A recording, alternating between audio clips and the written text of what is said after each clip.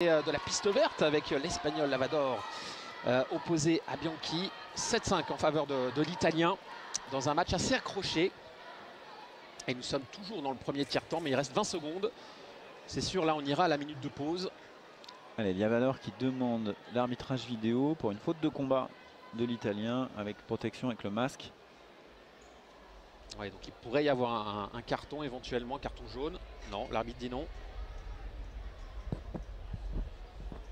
Peut-être un peu gâché là cette, euh, cette, demande de vidéo. Encore que euh,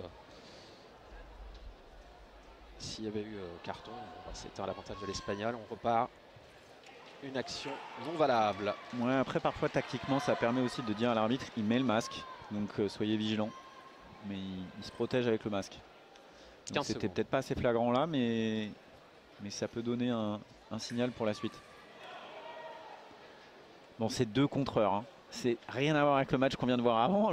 L'autre match, c'est deux attaquants qui font beaucoup de fleurets, c'est très, euh, très positif, très optimiste, il se passe des choses. Là, on est sur deux jeux de un peu de truqueur contreur, donc c'est pas le même rythme.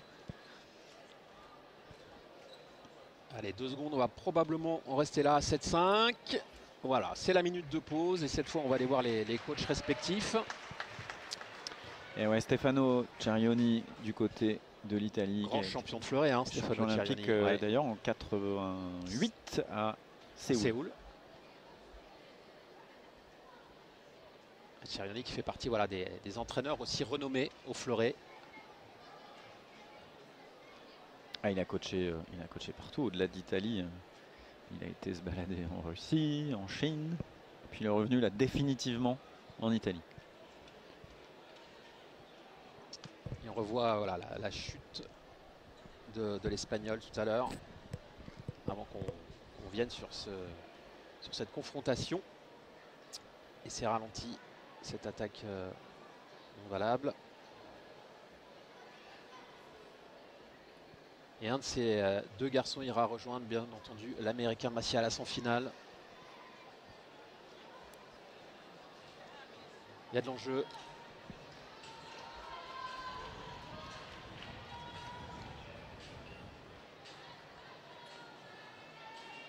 Qui, je vous rappelle, hein, a battu un Français au tour précédent, Alexandre Ederi. club d'Antony. Qui a eu forte affaire hein, face à l'Italien. Il s'est incliné, incliné 15-9, le Français.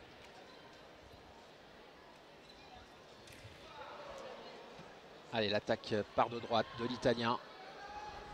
C'est lui qui, a logiquement, inscrit la touche.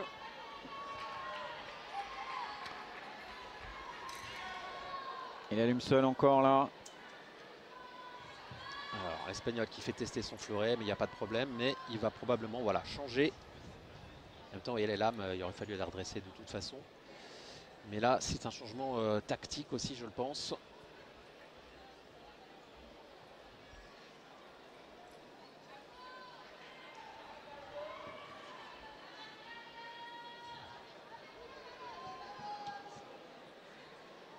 Allez, on reteste les cuirasses quand on a changé d'arme. Ça fonctionne, pas de problème. On peut se remettre en garde et continuer cette demi-finale.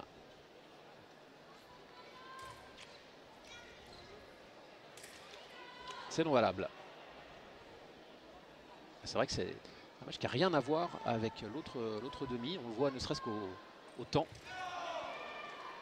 qui euh, déroule plus lentement. L'attaque de l'Italien, c'est lui qui prend l'initiative d'allonger son bras en premier. Ils avaient engagé un, mouvement à peu près en même temps des jambes, mais clairement l'Italien a pris l'initiative en allongeant, en allongeant le bras. Pardon. voilà ce fil de masque qui régulièrement euh, doit être replacé. C'est juste une petite pince croco hein, qui euh, le maintient entre la cuirasse et la bavette. Ouais, l'attaque directe de pied ferme là. C'est très beau avec cette pointe qui va toucher euh, sur le dessus à l'épaule et sur la cuirasse.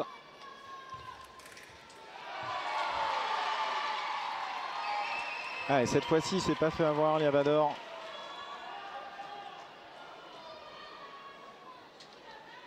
Alors il est mené de 5 touches espagnol, néanmoins, euh, voilà, il a, encore, il a encore du temps. Il faut qu'il travaille 2 minutes 43 à disputer dans le deuxième tiers-temps. Il a le temps de préparer ses actions. Ah ouais, Oh là là là il là, un petit là. peu comme tout à l'heure. ouais. J'espère qu'il s'est pas trop fait mal. Alors est-ce que c'est seul en glissant ou c'est en marchant sur le pied de Bianchi Ça arrive souvent. hein. On va voir le ralenti. Il suffit de demander. Ah oui, effectivement, j'avais pas Ouais. vu. Il s'est fait marcher dessus. Un espagnol, Ouais, c'est le pied a tourné. involontaire, hein, mais c'est c'est- c'est un cas de figure assez, assez fréquent. Bon, J'ai l'impression qu'il y a, enfin, j'espère en tout cas qu'il n'y a pas de gros bobos, un petit peu de froid là-dessus. Non mais si ça fait deux fois que ça tourne, ouais, ça doit, ça doit faire un peu mal.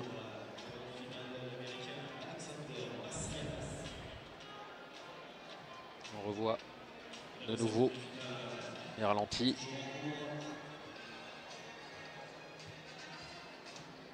Avec cette touche enfante. hein.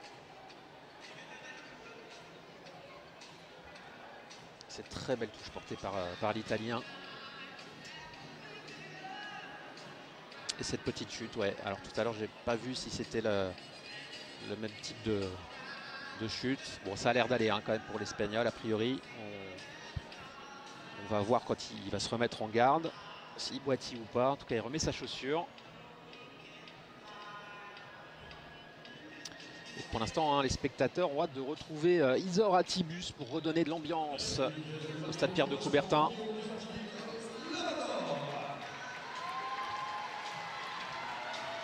Ce sera euh, le prochain match à suivre. Ouais, ça va être un super match sur Alice Volpi, l'italienne numéro 2 euh, mondial. Match de très haut niveau. Une nouvelle fois en France-Italie.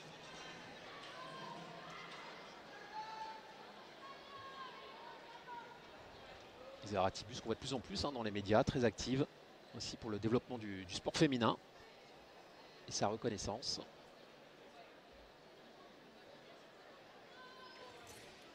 Attaque non valable de Lavador. L'attaque de gauche. Oh non. Ah, ouais. Ah, il est pris sur la préparation peut-être. C'est sûrement ce que considère euh, ouais, l'arbitre.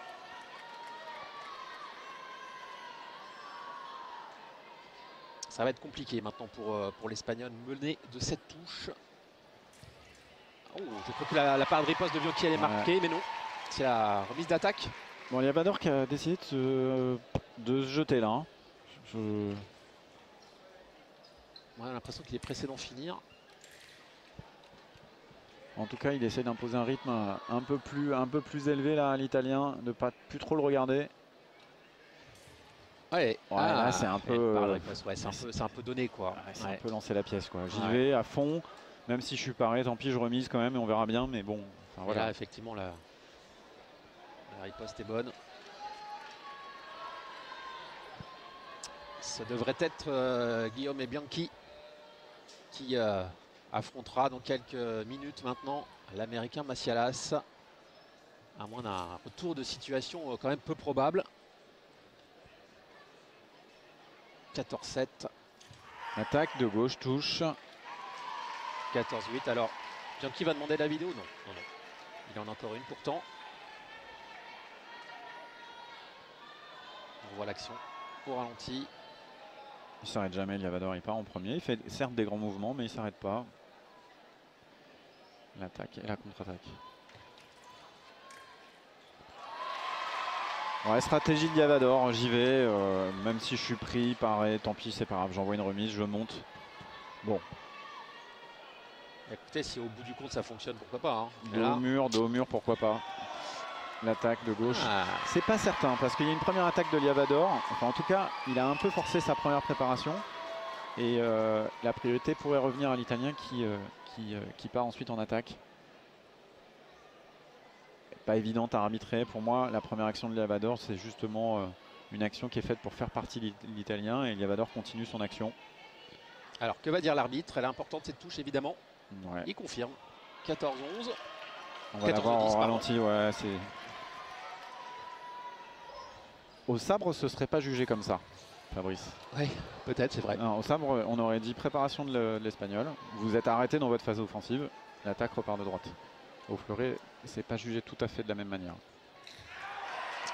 Allez, l'attaque de l'Italien. Et c'est la 15e touche, même si on va euh, visionner la, la vidéo presque plus pour le principe et puis elle est demandée par l'Espagnol. Mais c'est bien euh, Guillaume Bianchi qui affrontera Alexander Macialas dans quelques minutes pour la finale masculine.